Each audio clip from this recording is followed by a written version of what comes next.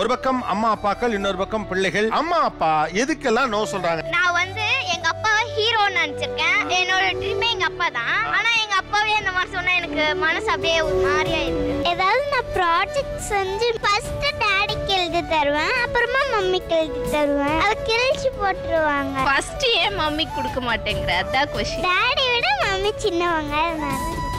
Actually குழந்தைங்க கிட்ட நிறைய விஷயங்கள் பறிச்சிடுறோம் இந்த நோ சொல்லி. Neeya Naana powered by Walkmate footwear புல்கே TMT மற்றும் நிப்பான் பெயிண்ட் ஞாயிறு மதியம் பன்னிரண்டு முப்பதுக்கு உங்கள் விஜய் மற்றும் டிஸ்னி பிளஸ் ஹாட் ஸ்டாரில்